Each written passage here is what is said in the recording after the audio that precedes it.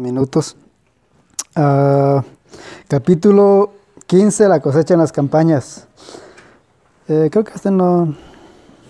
Este, y, es, que si, se dan cuenta lo que hemos estado viendo, son cosas o, algunas son, las, son cosas que, ya estamos haciendo o que ya hemos hecho, pero, pero que tal vez, como miraban acerca de, la oración y, y el ungir, no lo estamos haciendo como deberían hacer. Este, entonces es lo mismo con las, con las campañas. Hemos trabajado eh, con campañas, hemos, hemos hecho campañas, nos hemos organizado, la iglesia este, ha trabajado en eso. Y eso es lo que trata este, este capítulo. Ahora, ahora el punto, o sea, es la organización. Pienso que de todo, el punto es la organización, el cómo se organiza, eh, planeación.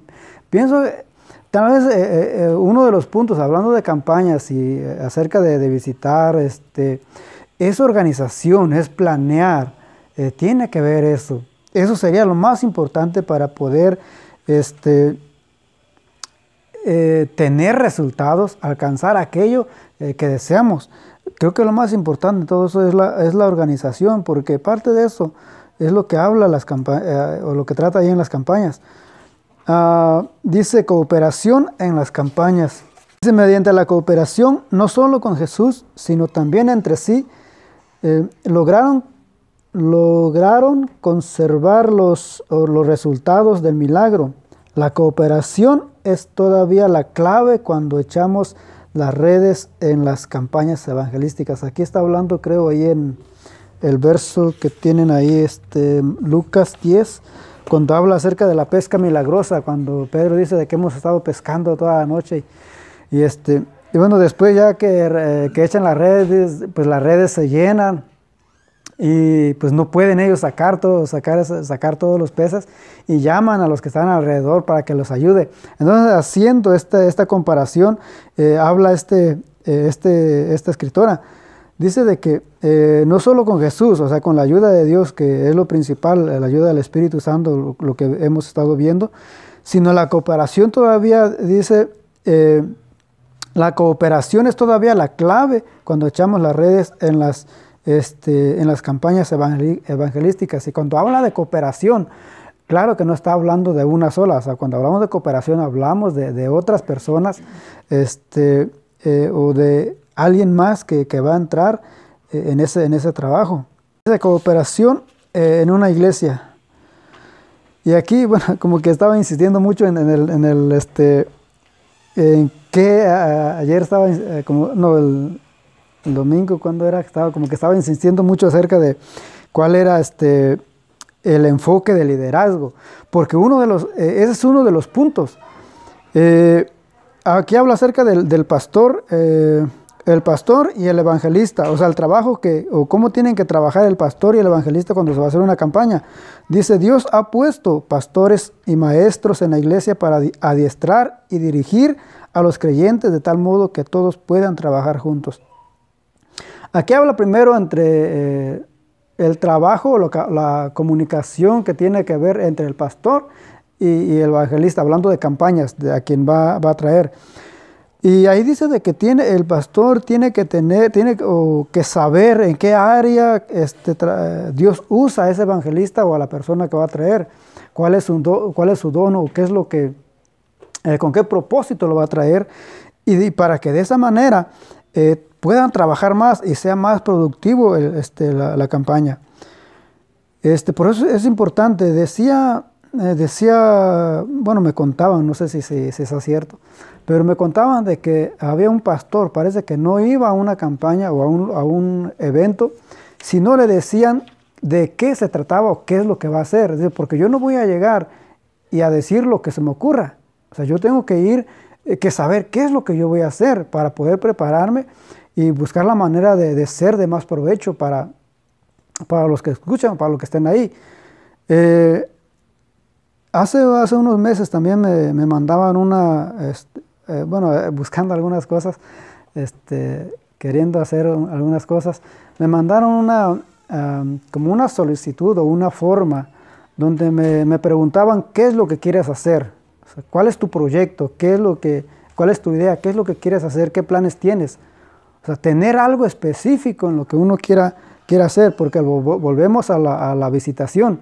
Si no tenemos un propósito, un, objetivo en la visitación, pues tal vez no tengamos los resultados que, que nosotros esperamos. Es lo mismo con las campañas. Si nosotros no tenemos un propósito en una campaña, este, si va a ser para jóvenes, si va a ser para niños, va a ser para adultos, o va a ser eh, para un estudio, para una... O sea, si no tenemos algo claro por la que queremos hacer esa campaña, puede que no tengamos los resultados que, que nosotros esperamos. Por eso es importante en cualquier cosa que nosotros hagamos, tener claro lo que nosotros queremos hacer para poder trabajar este, en base a ese objetivo y así poder lograrlo. Ah, había un, ah, bueno, hay un, escritor también que habla un poco sobre eso, ah, cómo trabajar en equipo. Y hablando de, actividades o programas, dice de que cuando, cuando una iglesia tiene un objetivo claro, todo lo que haga alrededor va a llevar a ese objetivo. Si nosotros, digamos, queremos eh, en este caso, bueno, queremos este, o esperamos evangelizar y, traer almas. Entonces, todo lo que nosotros hagamos, todos los programas tienen que llevar a eso. Porque si nosotros nos estamos preparando, estamos viendo cómo trabajar para traer a las almas, pero la, este, eh, digamos, el grupo de damas está, tiene otro propósito o está haciendo algo para otro, con otra idea, o el grupo de jóvenes está haciendo otra actividad para otra idea o, para el objetivo de ellos, entonces como que cada uno está agarrando por su lado y no se va a cumplir la visión de la, iglesia.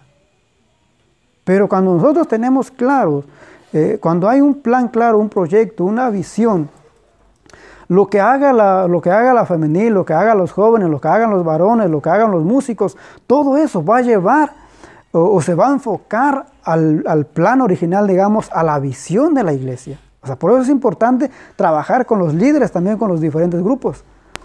Ah, ahorita que usted está hablando acerca de, del, ah, del, objetivo que se quiere alcanzar, hermano José, ah, para todos los hermanos que estamos acá, cualquiera que se le acerque o cualquier hermano de la iglesia que no viene a esto, a estos estudios, hágale ver que no es nada más para líderes, porque por ahí escuché yo que esto nada más era para líderes. Ah, no. es para líderes. Antes de que se empezara se le avisó a la iglesia que toda la iglesia que venir. El problema, hermanos, es de que venimos y tenemos los oídos tapados. Y ya cuando reaccionamos, reaccionamos allá afuera, pero pensando otras cosas. Y eso está mal. Entonces, cualquiera que se le acerque a usted, no es que esto es para líderes, no, te equivocaste porque fue anunciado en español y fue dicho. Eso es para el que quiere servir a Dios. Para el que quiere servir a Dios, para el que ah. tiene el mismo objetivo que ustedes. Sí, esa, bueno, se explicó sobre eso de que, que, de, que de hecho para eso este, se canceló el servicio para que toda la iglesia estuviera aquí, o sea, porque es para todos, o sea, por, el, por la visión que hay, por el, por el proyecto que hay, entonces... Pues, porque también se anunció que se iba a haber cuidado de niños, mm.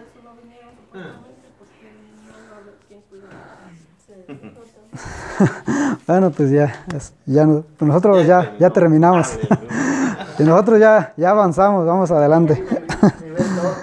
pero, pero eso, pero es, es, importante también, porque al menos miraba, o sea, pues me ponía pues a pensar, a pensar un poco sobre eso también.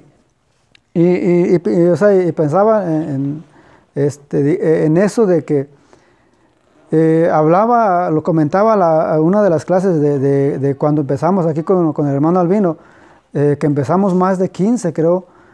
Y, o sea, y al final, pues gracias a Dios solo quedé yo. Pero, pero, o sea, pero pensando de que, si, si se dan cuenta, no sé cuántos, cuántos terminaron de los que empezaron con el hermano Albino, pero al menos él se vino para acá, nos tocó, nos tocó el que él estuviera acá.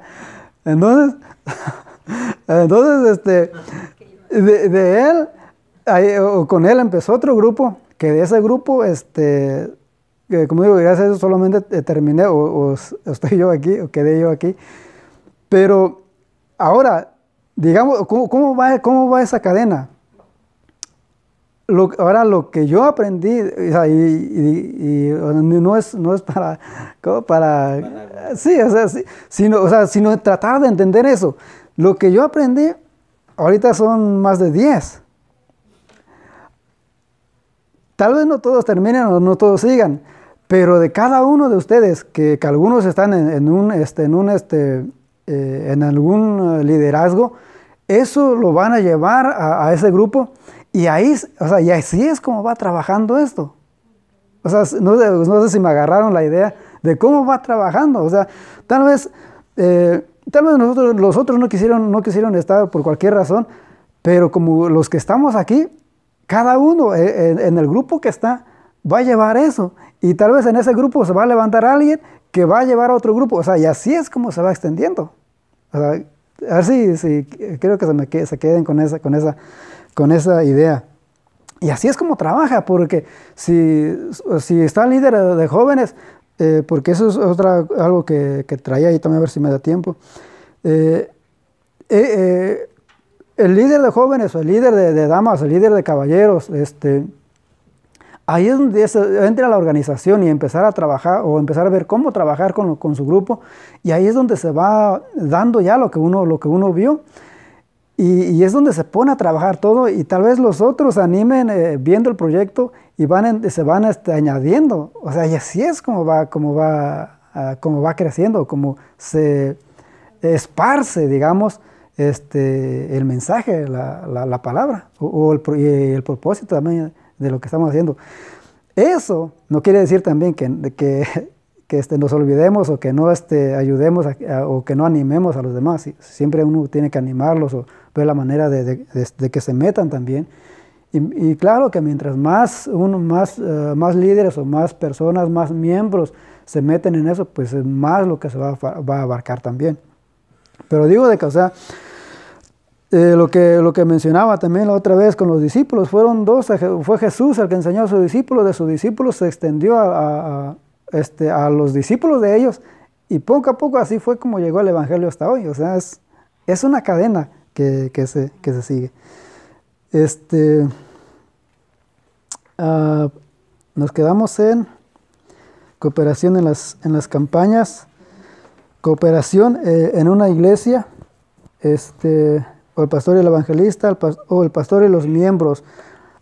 Y eso es lo que es una cosa que ya se, se han hecho, se han hecho, este, cuando habla acerca de eh, organizar y este, dar responsabilidades o dar el trabajo, lo que le toca a, a cada uno, es lo que se ha hecho también, este, por ejemplo, quién va a atender a las personas, quién va a estar a la puerta, quién va eh, a ayudar a, acomodar los carros y todo, o sea, todo eso, darle responsabilidad. La comunicación que tiene que ver entre el pastor o el líder y los miembros de, la iglesia. Cooperación en, los, en un distrito, ah, cooperación en las campañas unidas. Aquí habla ya, y algo que tocábamos también la otra vez acerca de muchas veces las divisiones que hay con las diferentes iglesias o los pastores. Pero qué, qué tan importante es trabajar, o, o, ver, o tener una visión eh, donde se incluya a todas las iglesias o, incluir a, las iglesias que quieran participar o quieran trabajar con, una, con un proyecto, en, un- en una, en una visión, eh, pues claro que sería más, y algo que dice ahí, ah, dice, varias iglesias pueden lograr juntas lo que ninguna podría hacer sola. O sea, mientras más nos unimos, pues más vamos a poder hacer. Pero si uno, mientras, si uno trabaja solo, digamos la iglesia sola, pues tal vez no hagamos, no hagamos mucho o no, no hagamos lo que nosotros quisiéramos hacer. Pero si nos juntamos y se unen varias iglesias, pues claro que es, La es- unión hace la fuerza. en la unión hace la fuerza. Este, es más lo que se puede, se puede hacer. Preparación para las campañas. Ahí, este, eh, preparación para las campañas, eh, página 230. Eh, dice, bueno, ahí habla acerca de, los tiempos, y ahí, es donde tiene que ver el propósito, o sea, ¿qué- ¿cuál es el propósito, propósito de la campaña?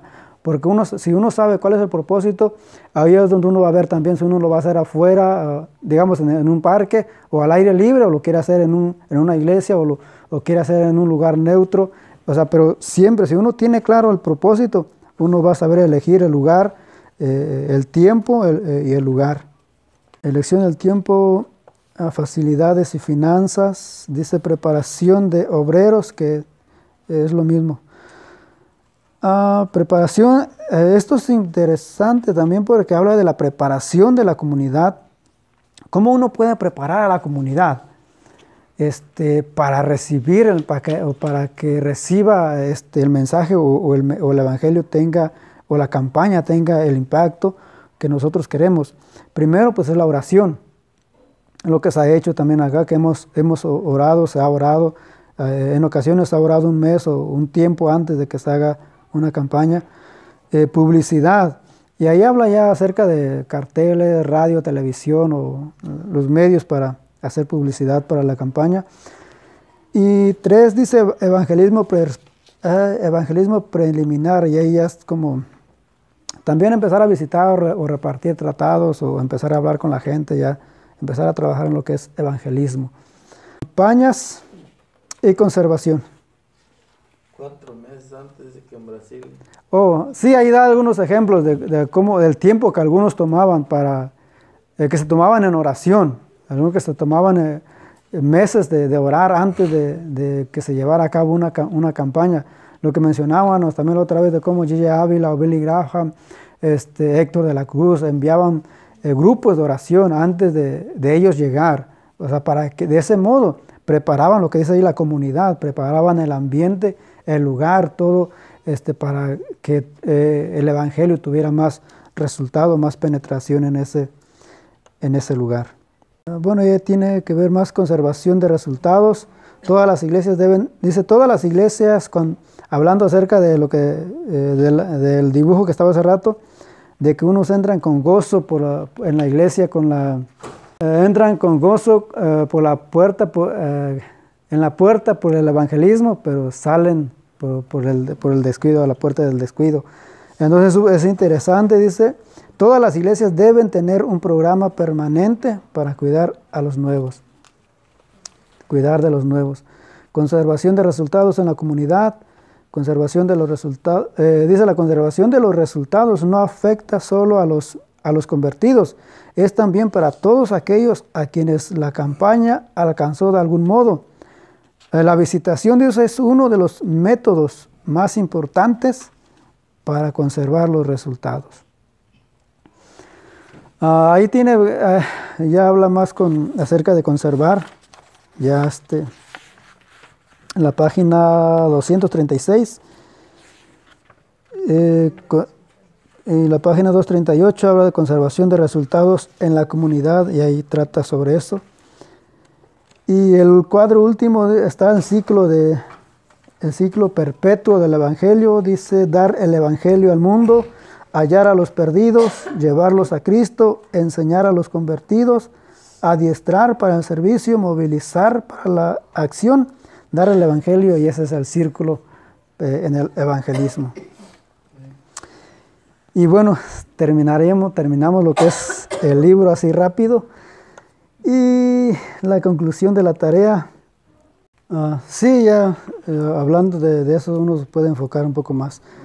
Este, esto es lo último, uh, ya para, eh, como dijo Jesús, enviarlos. para enviar.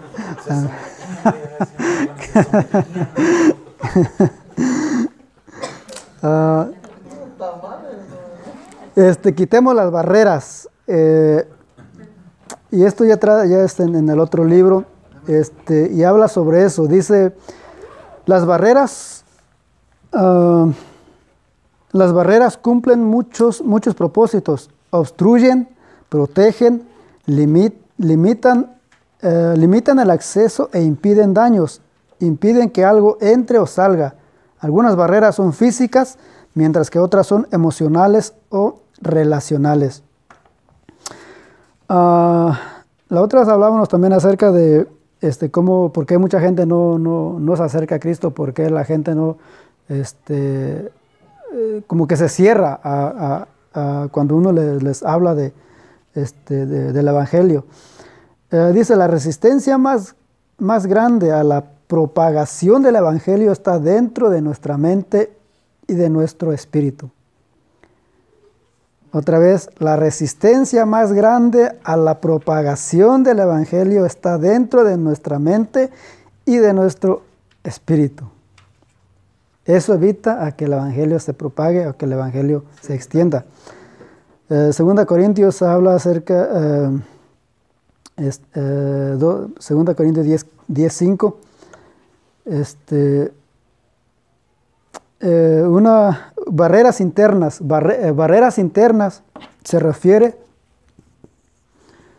a barreras internas esta se, refiere a, las barreras que tenemos nosotros o que nosotros ponemos o que hay dentro de nosotros.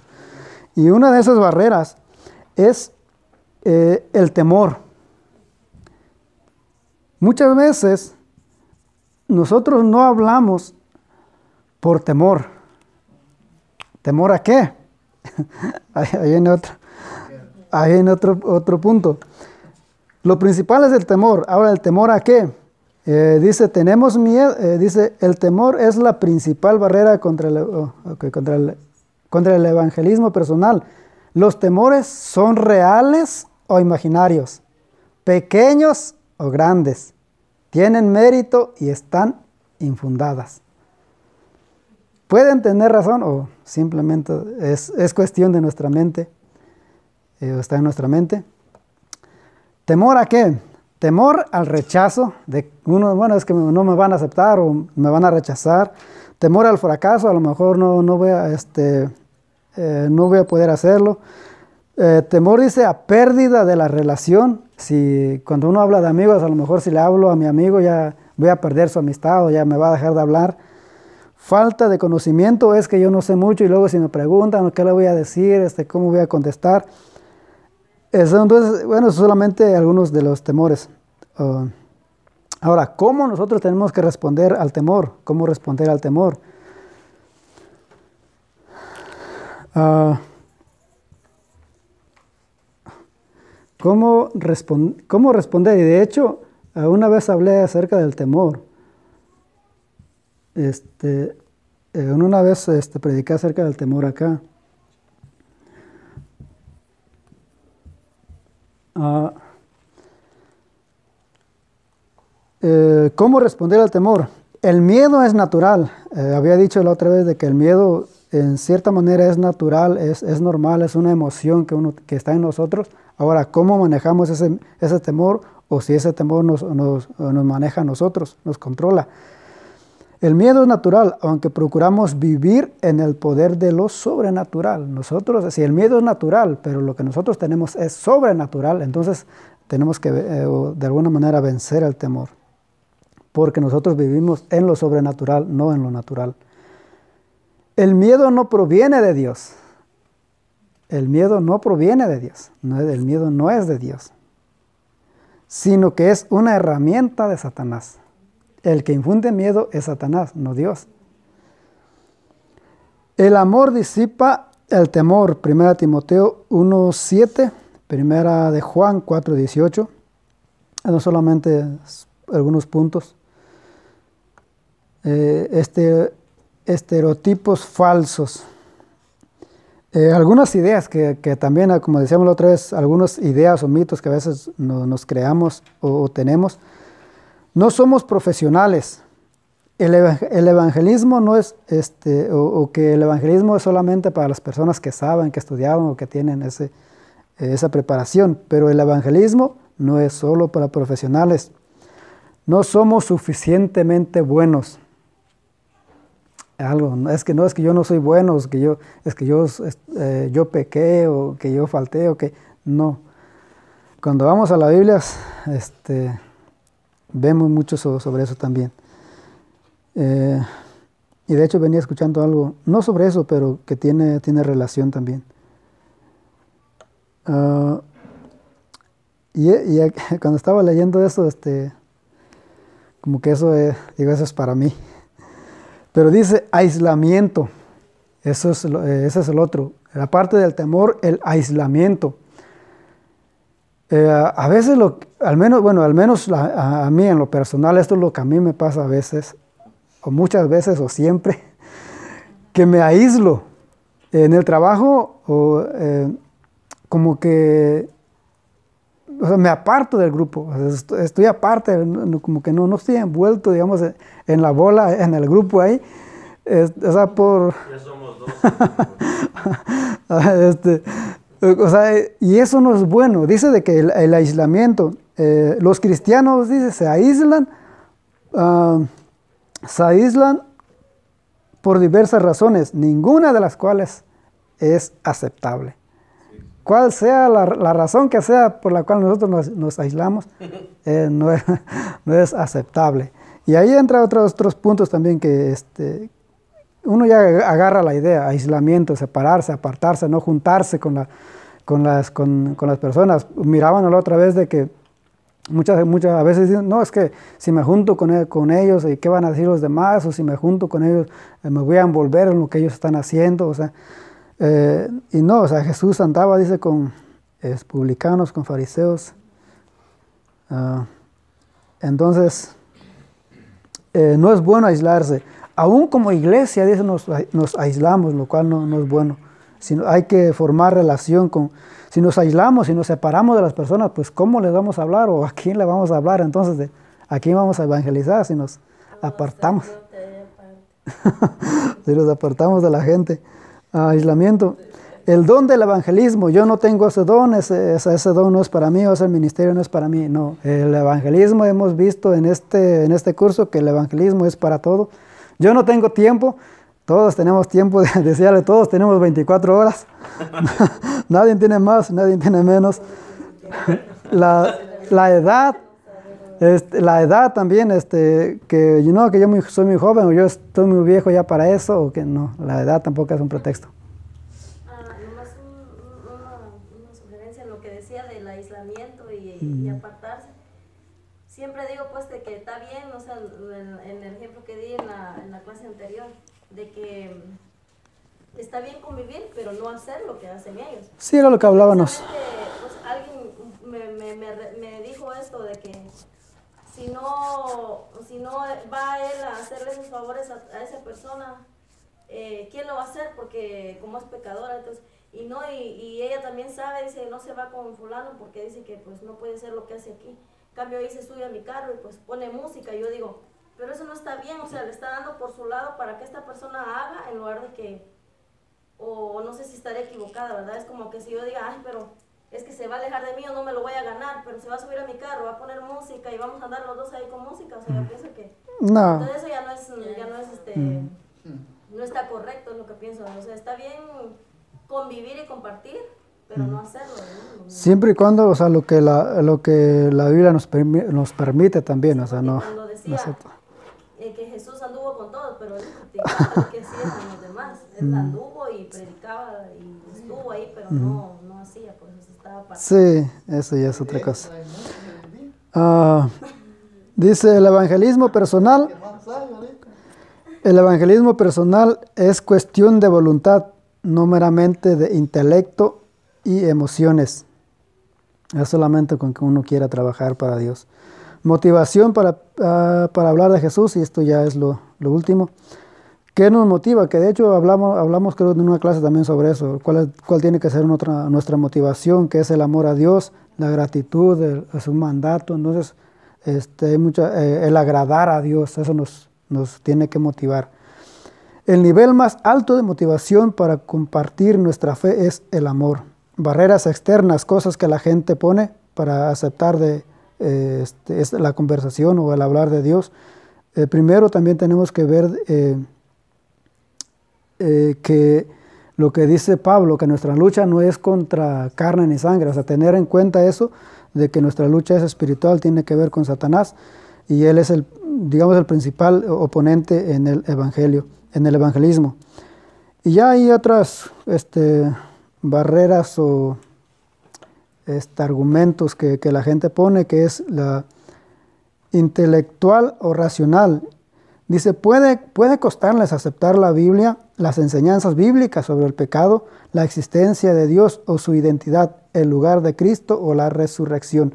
Eh, o sea, para ellos no tiene sentido eso. Eh, no tiene que, ellos tienen que dar, eh, como hablarles o, ponerles argumentos razonables. Y es lo que dice más adelante. Dice, lo otro es la información, lo que hablábamos también sobre el aceite. La información. Muchos no han rechazado directamente a Cristo, sino que no se les ha presentado con claridad sus proclamas esenciales. Mirábamos en otra de las clases acerca de tener lo básico, lo esencial del mensaje o de, los conceptos que tiene la Biblia. Tenemos que saberlo para poder dar esa información. Y lo último es la respuesta a la- a lo intelecto racional, apologética, que tocaba algo sobre eso también. La defensa del Evangelio. Una manera de abordar las barreras intelectuales es con respuestas lógicas y razonables. Esto se llama apologética. Presentar o argumentar, poner argumentos lógicos, racionales, pruebas, lo que la ciencia dice.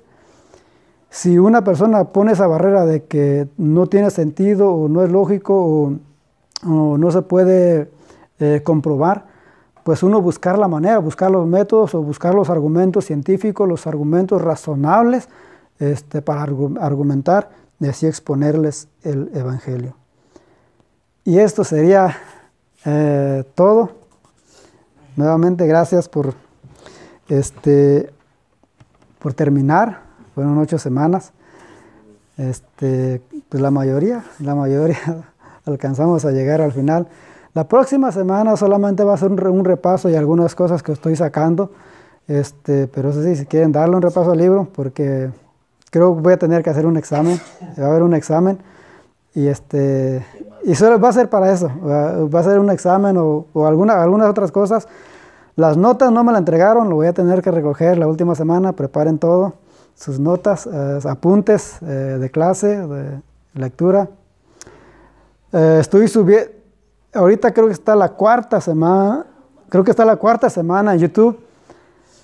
Eh, a ver si me da tiempo sacarlo las otras semanas en estos días. Puede tomar, si quiere ver esos videos y- o repasarlos, tomar las notas ahí. No lo subo todo porque como du- dura dos horas, entonces, y a lo mejor no agarran las dos horas ahí, entonces trato de, de- estoy tratando de hacerlo por partes, como lo que miramos hasta el último, a lo mejor es una parte, el capítulo 1 o el capítulo 2, y así lo estoy tratando de separar para que si pueden mirar, si quieren mirar el capítulo 1, digamos, o si quieren mirar el capítulo 2, y ya, ah, no sé si hay algunos, ¿verdad? Como una hora o menos. Eh, y así es- a lo mejor es más fácil y, en lugar de poner todo los, las dos horas ahí. Sería todo. Y la próxima semana. Gracias a, pues gracias a Dios terminamos. Vamos a orar. Eh, pastor. Vamos a hacer una oración, hermano, donde, donde nos damos cuenta que todos pusimos esfuerzo.